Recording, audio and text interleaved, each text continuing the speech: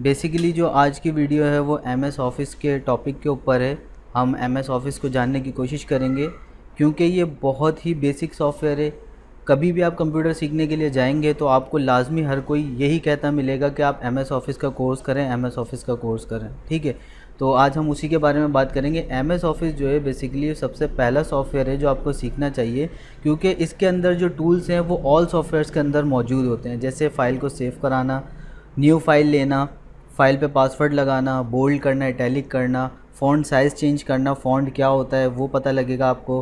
Font के size होते हैं, उनको बड़ा छोटा करना इटैलिक करना अंडरलाइन करना कलर देना, ठीक है? तो ये सारी चीज़ें होती हैं। तो आप मेरी स्क्रीन पे देख सकते हैं, ये थ्री सॉफ्टवेयर कंपोनेंट्स हैं एम एस ऑफ़िस के।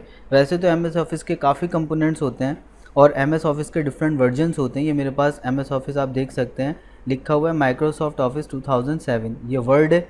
ये एक्सेल है, या पावर पॉइंट है। ठीक है, इसके आइकन्स को आप गौर से देख लें। ये एम एस ऑफ़िस का जो वर्जन है, वो 2007 है।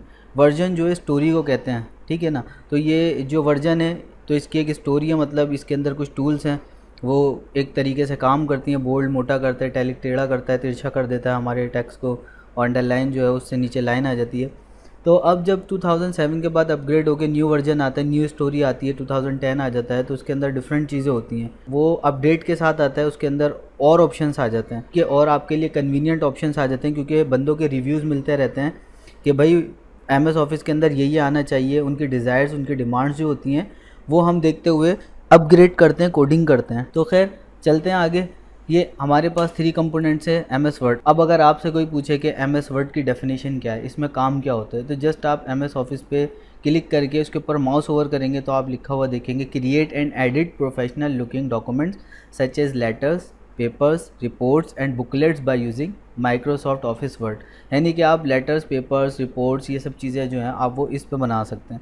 अब चलते हैं एक्सेल के ऊपर। एक्सेल पे आप जब माउस ओवर करेंगे तो लिखा है परफॉर्म कैलकुलेशन यानी ये कैलकुलेशन परफॉर्म करता है एनालाइज करता है इन्फॉर्मेशन को एंड विजुअलाइज करता है डेटा को, और स्प्रिट शीट्स होती हैं। स्प्रिट का मतलब फैलना होता है शीट्स का मतलब एक्सेल में हमारे पास शीट्स होते हैं, हम शीट्स पर काम करते हैं। तो कहने का मतलब है, आपने टेन जो है एम्प्लॉयज़ का रिकॉर्ड बनाया, उसके बाद टेन बंदे और आपके पास जो है ना कंपनी में आ गए तो आपकी शीट जो है स्प्रेड होती रहेगी, इसे स्प्रेड शीट भी कहते हैं, ठीक है? तो बेसिकली अब चलते हैं पावर पॉइंट के ऊपर। अब ये पावर पॉइंट पे क्या लिखा है? Create and edit presentation for slide shows presentations होती हैं प्रोजेक्टर्स के ऊपर होती हैं बड़ी बड़ी कंपनीज़ में होती हैं, ठीक है ना? प्रोजेक्टर्स के ऊपर और एजुकेशनल डिपार्ट्स के अंदर भी होती हैं प्रोजेक्टर्स के ऊपर जो है प्रेजेंटेशंस होती हैं, ठीक है? वर्कशॉप्स होती हैं। तो मीटिंग्स होती हैं वेब पेजेस आप इस पर बना सकते हो, ठीक है? और इसके अलावा आप किसी भी टॉपिक के ऊपर प्रेजेंटेशन जो है ना, वो तैयार कर सकते हो। पावर पॉइंट जो है ना, उसको आप बड़ा गौर करें पॉइंट्स की पावर मैं ये कहता हूँ बच्चों को सिखाते हैं पॉइंट्स की पावर है। आप जो पॉइंट्स इसमें लिखोगे, उनको पावर दोगे, उसको एनिमेशन दोगे, उसको टाइमिंग दोगे तो वो पॉइंट्स की पावर बनेगा। ठीक है ना? तो पावर पॉइंट पे आप बहुत सारी चीज़ें कर सकते हैं एनिमेशन की, हिलाना, झुलाना, ये सब चीज़ें। तो बेसिकली मैं आपको एक पॉइंट की बात बताता हूँ। इसके अंदर वो ये है कि एम एस वर्ड पर जो है पेजेस पे काम होता है। ठीक है? हम न्यू पेजेस लेते हैं। इसके अंदर जब पहला पेज भर जाता है एक्सेल के अंदर हम शीट्स पे काम करते हैं और पावर पॉइंट पे हम स्लाइड्स पे काम करते हैं। तो इनको खोल के तरह इनका इंटरफेस देख लेते हैं। एम एस वर्ड जो है, अब ये जो है प्रॉब्लम हमारे पास ये अगर आपके पास डिफरेंट विंडोज़ के हमारे पास वर्जन अवेलेबल हैं, जैसे अगर आपके पास जो है विंडो सेवन हुई हुई है विंडो एट हुई है विंडो टेन हुई हुई है, और अगर आपसे कोई कहता है कि M S word two thousand seven installed है, उसको ओपन करो, ठीक है? तो आप जो है, उस, उसने जो है सामने नहीं रखा होगा आपके ऐसे डेस्कटॉप पे ना, जैसे मेरे पास ये प्लेस हुए हुए हैं। तो आप कैसे खोलेंगे? आप अपने कीबोर्ड से विंडो की और आर प्रेस करेंगे और टाइप करेंगे W I N W O R D और इंटर प्रेस करेंगे। तो एम एस वर्ड देखें, आपके सामने ओपन हो जाएगा। इसी तरीके से आप विंडो की आर प्रेस करेंगे तो रन ओपन हो जाएगा। आप इसमें E X C L excel लिखेंगे तो आपके पास एक्सेल ओपन हो जाएगा। ठीक है? अभी मेरे पास दो वर्जन डले हुए टू थाउज़ेंड टेन भी डला हुआ है टू थाउज़ेंड सेवन भी डला हुआ है। तो अभी मैंने जब एक्सेल लिखा तो इसने टू थाउज़ेंड टेन का खोल दिया है। ये 2010 का वर्जन है, आपको कैसे पता चलेगा? यहाँ पर फ़ाइल लिखा हुआ है ग्रीन कलर से और आप ये इंटरफेस देख रहे हैं काफ़ी चेंज है। मैं आपको 2007 का एक्सेल ओपन करके दिखाता हूँ। आप देखें यहाँ पे ऑफ़िस बटन बना हुआ है, ठीक है? उसके बाद आप विन की आर प्रेस करेंगे P O W E R P N T लिखेंगे तो पावर पॉइंट आपका ओपन हो जाएगा, ठीक है? अभी मेरे पास इस केस में 2010 भी डला हुआ है, जैसे मैंने पहले ही बताया तो वो ओपन हो गया मैं आपको 2007 का पावर पॉइंट भी मैनुअली ओपन करके दिखा देता हूँ। आप ये देख सकते हैं, इस पर ऑफ़िस बटन बना हुआ है, ठीक है? तो अब इसको जो है, अगर कंपेयर करने की कोशिश करें एम एस वर्ड है, ठीक है? ये 2007 के एम एस वर्ड है। मैं इसको मिनिमाइज़ करके यहाँ पर राइट हैंड साइड पे लगा देता हूँ और 2010 का एम एस ऑफ़िस भी है मेरे पास, ठीक है? मैं इसको भी मिनिमाइज़ कर देता हूँ, इसको यहाँ लेफ़्ट हैंड साइड पे लगा देता हूँ, इसको राइट हैंड साइड पे। आप दोनों का जो है इंटरफेस देख सकते हैं। ठीक है, आप ये देख रहे हैं, इसका ऑफ़िस बटन कैसा है और इसका ऑफ़िस बटन आप ज़रा चेक करें। इसके ऑफ़िस बटन के ऑप्शंस देखें आप और इसका इंटरफेस ज़रा चेक करें और इसका इंटरफेस आप ज़रा चेक करें। ठीक है तो ये इनमें डिफरेंस है। इसी तरीके से मैं अगर एक्सेल ओपन करूँ, ये 2010 का एक्सेल है। ठीक है, इसको रजिस्टर्ड नहीं है मेरे पास, इसलिए मुझे परेशान कर रहा है। ठीक है, और मैं जो है, ये 2007 का एक्सेल भी ओपन करता हूँ। और ये आपको बैक टू बैक जो है कंपेयर करके मैं दिखाता हूँ, ये देखें आप। यहाँ पे ऑफ़िस बटन देखें आप और यहाँ का ऑफ़िस बटन देखें आप, ठीक है? ये देखें आप। और कलरेशन वगैरह और आप ये चीज़ें देख सकते हैं होम की टैब इंसर्ट की टैब यहाँ पर देखें कैसा कलर है और यहाँ पर देखें इंसर्ट की टैब कैसी है, ठीक है? अभी मैं पावर पॉइंट ओपन कर लेता हूँ, ठीक है? और ये हमारे पास 2010 का पावर पॉइंट है। ये भी मैं आपको बैक टू बैक दिखा देता हूँ। आप देखें इसका इंटरफेस कैसा है। ये देखें आप। ठीक है, आप देख सकते हैं यहाँ पर ये पी लिखा हुआ है। ये 2010 का और यहाँ पे ऑफ़िस बटन है। इसका ऑफ़िस बटन जो है रेड कलर का है, क्योंकि बेसिकली इसका आइकन जो है वो रेड कलर का ऊपर आप यहाँ देख सकते हैं। ठीक है तो ये मैंने आपको दोनों वर्जन्स दिखा दिए हैं। मार्केट में 2000 जो है फोर्टीन भी है, जिसे डब्ल्यूपीएस कहते हैं, और मार्केट में अब जो है 2019 भी आ गया लेकिन वो आम पीसीज में इंस्टॉल नहीं होता, उसके लिए थोड़ी ज़्यादा रैम और हार्ड डिस्क की आपको नीड होती है। तो बेसिकली हम एम एस की बात करते हैं। एम एस वर्ड को आप ओपन करेंगे, सबसे पहले आपके पास जो है ना, ये प्रोडक्ट का नाम आ रहा है माइक्रोसॉफ्ट ठीक है, यहाँ डॉक्यूमेंट वन लिखा आ रहा है। अगर मैं इस फ़ाइल को यहाँ ऑफ़िस बटन में जाता हूँ सेव करता हूँ, ठीक है डेस्कटॉप पे, अली रज़ा के नाम से तो आप देखें, ऊपर मेरी फ़ाइल का नाम आ गया और प्रोडक्ट का नाम भी आ रहा है। तो ये हमारी टाइटल बार है, क्योंकि टाइटल दिखा रही है। ठीक है, दूसरी बात करें, यहाँ पर आप देख सकते हैं, हमारे पास एक क्विक एक्सेस टूल बार है। मतलब हम यहाँ से क्विकली जो है ना, अपनी जो कुछ ऑप्शन हैं वो परफॉर्म कर सकते हैं। अब सेव का आप देख रहे हैं, यहाँ पर ऑप्शन है। तो ये क्विकली एक्सेस हो सकता है एज़ कंपेयर टू हम ऑफ़िस बटन में जाएँगे, फिर सेव में जाएँगे। तो बेहतर है हम डॉक्यूमेंट पे काम करें और फ़ौर जो है यहाँ से सेव पे चले जाएँ। प्रिंट प्रीव्यू के लिए आपको ऑफ़िस बटन में जाना पड़ेगा। प्रिंट में जाना पड़ेगा, फिर देन प्रीव्यू पे क्लिक करना पड़ेगा। वो हमने क्विक एक्सेस टूल बार में ऐड किया हुआ ये प्रिंट प्रीव्यू बेसिकली ये आपको छोटा सा एरो दिख रहा है, आप इधर जाके और भी कई ऑप्शन जो है यहाँ पर ऐड कर सकते हैं। और ये है हमारे पास ऑफ़िस बटन जैसे कि यहाँ पर लिखा हुआ आ रहा है ऑफ़िस बटन ठीक है? और यहाँ से सेव वगैरह करते हैं फ़ाइल को प्रिंट कर सकते हैं, ठीक है? ये हमारे पास विंडो कंट्रोल बटन्स होते हैं, ठीक है? इससे आप मिनिमाइज़ कर सकते हैं, इससे आप विंडो को छोटा कर सकते हैं और इससे विंडो को क्लोज कर सकते हैं। उसके बाद हमारे पास सेवन डिफरेंट टैब्स हैं ये, ठीक है? 2007 के अंदर 2010 या इससे हायर वर्जन पे आप जाएँगे तो मे भी पॉसिबल शायद ज़्यादा टैब्स हों उसके अंदर, ठीक है? तो मैं बेसिक वर्जन की बात कर रहा हूँ, अभी पहले 2007 की। तो यहाँ पर ये सेवन डिफरेंट टैब्स हैं हमारे पास, इनको मेन्यू बार भी कहा जाता है। उसके नीचे ये फॉर्मेटिंग बार भी कही जाती है इसे, और ये रिबिन भी कहलाती है।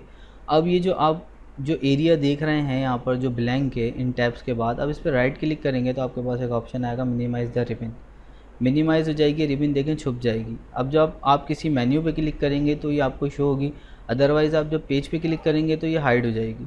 अगर आप इसको परमानेंटली फ्रीज़ करना चाहते हैं तो आप इसी एरिया पर राइट क्लिक करें, या तो किसी भी मेन्यू पर राइट क्लिक करें और मिनिमाइज़ द रिबिन पे से चेक हटा दें इसे अनचेक कर दें। आप देखें ये कम्प्लीटली अब जो है हमारे सामने आ गई है और ये फ्रीज़ हो गई, ठीक है? उसके बाद बात कर लेते हैं, ये हमारे पास वर्टिकल स्कूल बार होती है पेज यहाँ से यहाँ तक हम जो है ऊपर नीचे करके देख सकते हैं।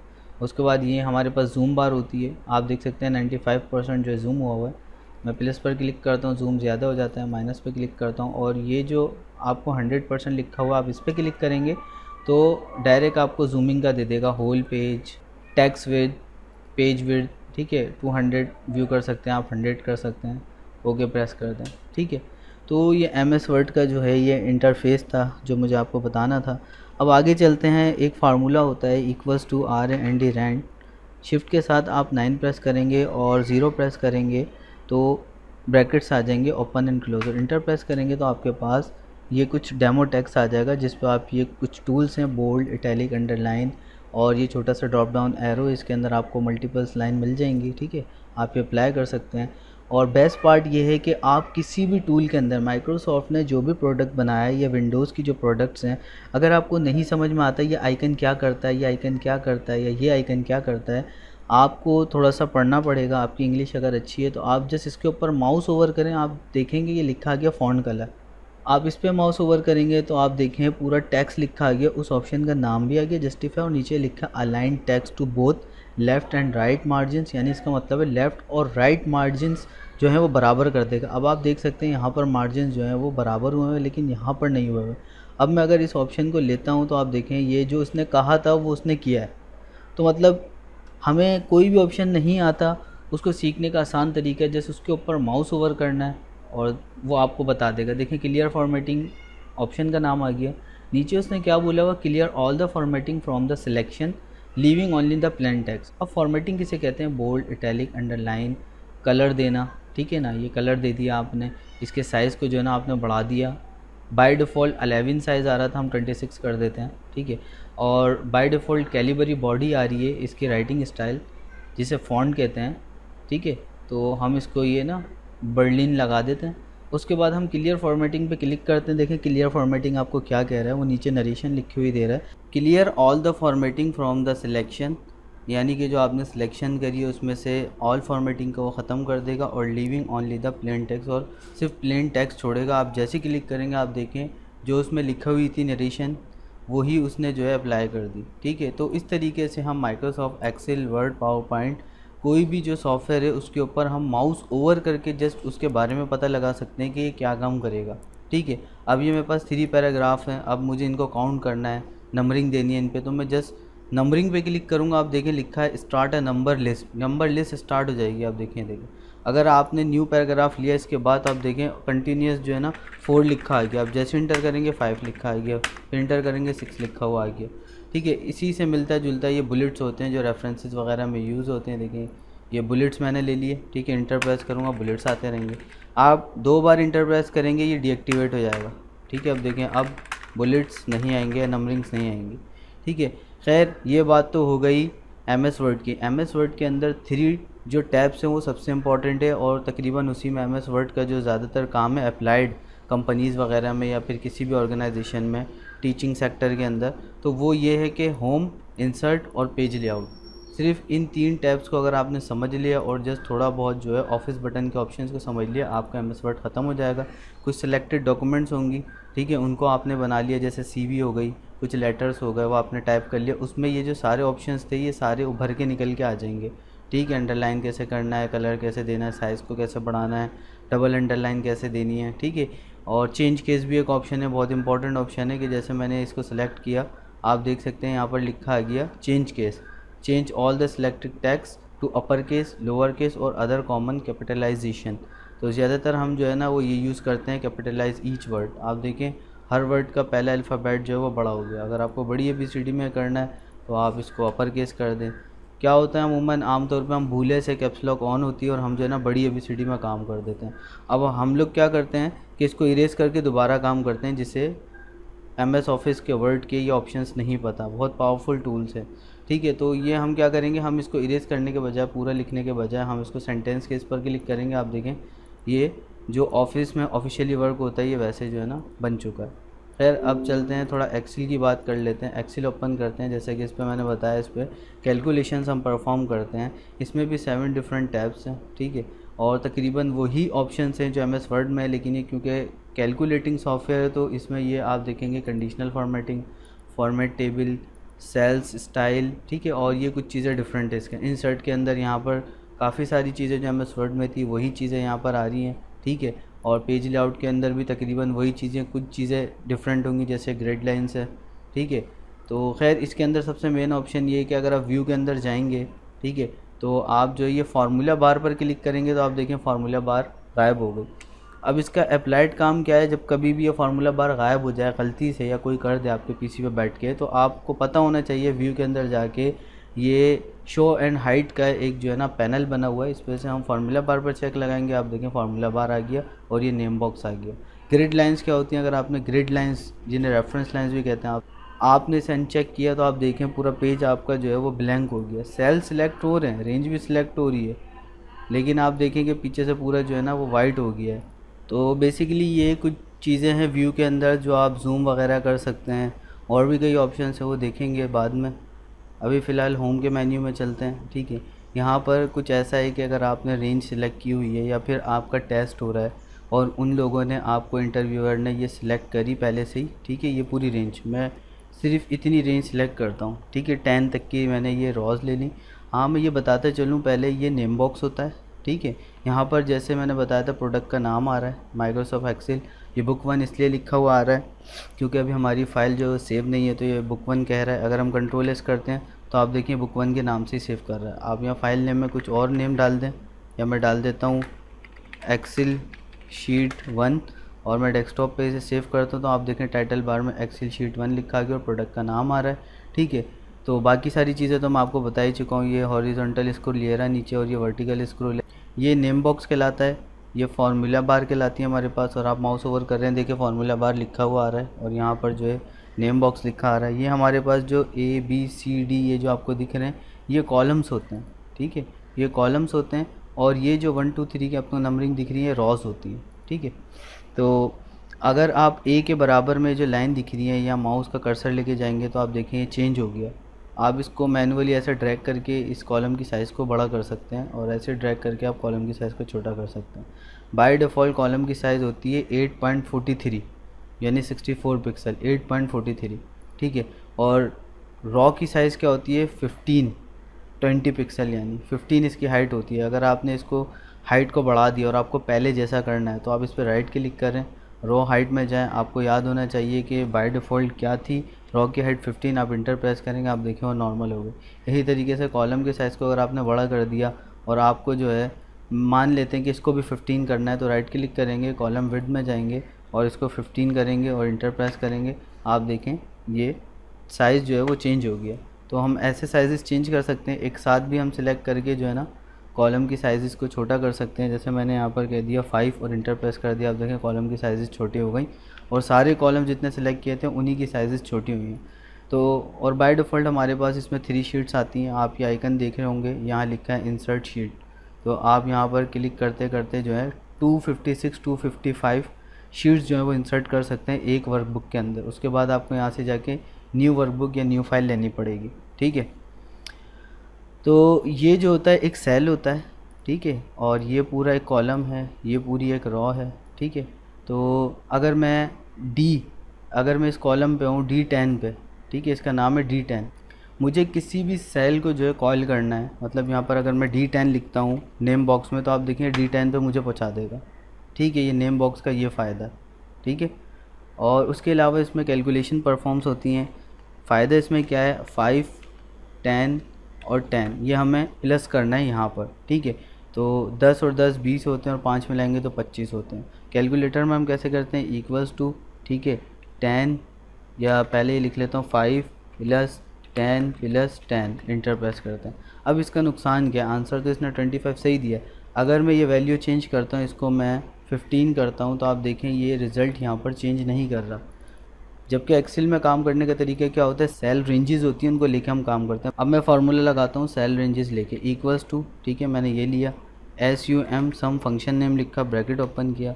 आप देखें मैंने जो है, इस पर क्लिक किया तो ये बोल रहा है डी फाइव और ये बोल रहा है ई e फाइव और ये बोल रहा है एफ़ फाइव ये सेल रेंजेज़ हैं। अब मैं क्या करूँगा? अपने माउस का लेफ़्ट क्लिक प्रेस करके रखूँगा और उसे ड्रैग करूँगा। आप देखें, उसने डी फाइव से लेके एफ़ फाइव तक की रेंज ले ली। यानी ये डी फाइव से लेके डी का कॉलम था और फाइव की रॉ थी। डी फाइव से लेके जी फाइव तक उसने जो है रेंज ले ली, हम इंटर प्रेस करेंगे।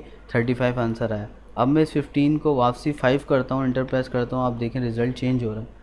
तो ये बहुत पावरफुल चीज़ है एक्सेल के अंदर कि इसके फार्मूलाज जो हैं वो चेंजेबल हैं अगर आप रेंजेस लेके काम करें ठीक है? तो अगर जैसे यहाँ पर लिखा हुआ है फ़ाइव यहाँ पर लिखा हुआ है फ़ाइव और यहाँ लिखा है फ़ाइव ठीक है? अब इसका मुझे यहाँ रिज़ल्ट जनरेट करना है तो मैं इक्वल्स टू ठीक है, और उसके बाद ये लूँगा प्लस का साइन ये लूँगा प्लस का साइन ये लूँगा प्लस का साइन इंटर आप देखिए फिफ्टीन आंसर आ गया। अब मैं किसी भी सेल में चेंजिंग करता हूँ, वहाँ पर रिज़ल्ट चेंज होगा। क्योंकि इन जो थ्री सेल्स का लिंक है, वो इसके साथ हो गया। ठीक है सेल रेंजेस के थ्रू खैर, इसमें हम कई शीट्स बनाएँगे। जब शीट्स वगैरह हम बनाएँगे, मेरी दूसरी वीडियोज़ हैं, उसके अंदर शीट्स वगैरह हमने बनानी सीखी हैं तो उसके अंदर काफ़ी सारे ऑप्शन आ जाएँगे आपको यूज़ करना आ जाएगा कि एक्सेल कैसे काम करता है। ठीक है?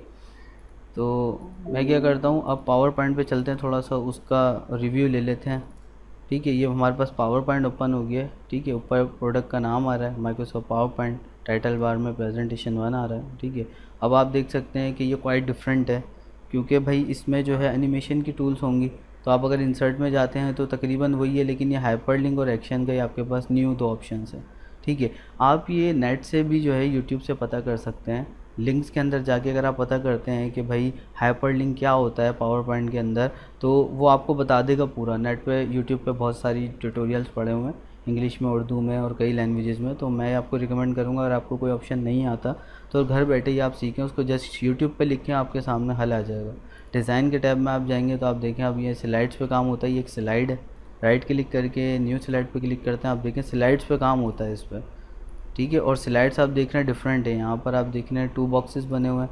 यहाँ पर आप देखें कुछ अलग है, ठीक है। तो ये बेसिकली और यहाँ पर ये जो आपको दे रहा है ये कुछ आइकन्स इस पर आप क्लिक करके ये चीज़ें इंसर्ट करा सकते हैं। जैसे पिक्चर का आइकन है चार्ट का आइकन है टेबल का आइकन है, ठीक है। अब इस पर क्लिक करते हैं तो आप देखें आपसे रोज़ और कॉलम पूछ रहा है। मैंने फाइव रो फाइव कॉलम लेके ओके प्रेस किया, आप देखें टेबल जनरेट हो गया, ठीक है। तो बेसिकली इस पर जो है स्लाइड्स पे काम होता है। स्लाइड पे राइट क्लिक करेंगे डिलीट करेंगे तो स्लाइड डिलीट हो जाएगी, ठीक है? अब मुझे जो है, ये जो स्लाइड है, इसकी डुप्लीकेट लेना है। जैसे मैंने यहाँ पे लिख दिया अली। अब मुझे इसकी डुप्लीकेट लेनी है तो मैं इस पर राइट क्लिक करूँगा और डुप्लीकेट सेलेक्ट करूँगा। आप देखें डुप्लीकेट हो गई स्लाइड ठीक है? इफ़ेक्ट वगैरह सब डुप्लीकेट हो जाएँगे।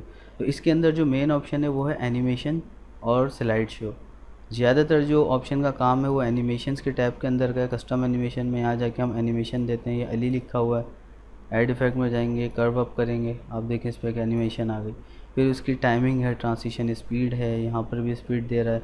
स्टार्टअप है ऑन क्लिक पे स्टार्ट करना है विद प्रीवियस आफ्टर प्रीवियस तो कई प्रेजेंटेशंस मेरे पास बनी हुई है। मैं अगली वीडियोस में आपको दिखाने की कोशिश करूँगा।